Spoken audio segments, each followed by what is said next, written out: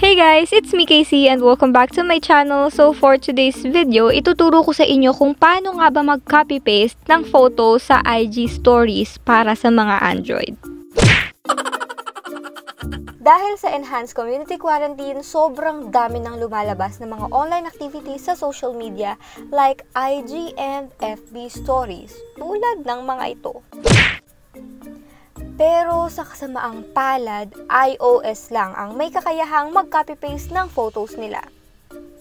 That's why nandito ako para ituro sa inyo kung paano nga ba ito gawin. Wala nang paligoy-ligoy, simulan na natin.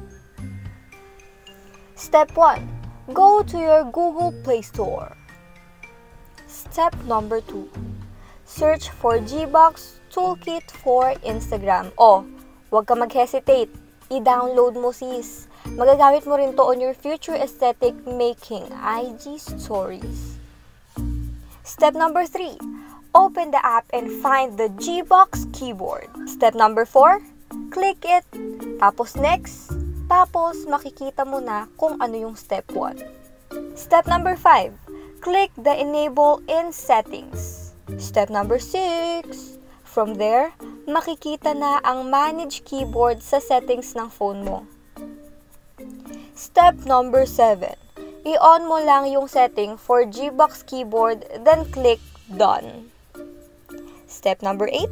From there, madadirect ka naman sa second step which is the select input method. Step number 9.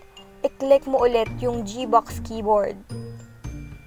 At step number 10, click Done.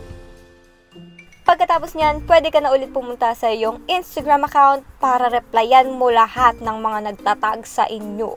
Akala mo, kala nyo kayo lang?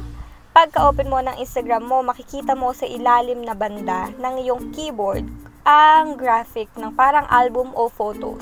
I-click mo lang yon tapos makikita mo na doon ang mga photos mo. Charan! Pwede mo silang replyan. Hindi ka na hampas lupa, beshi!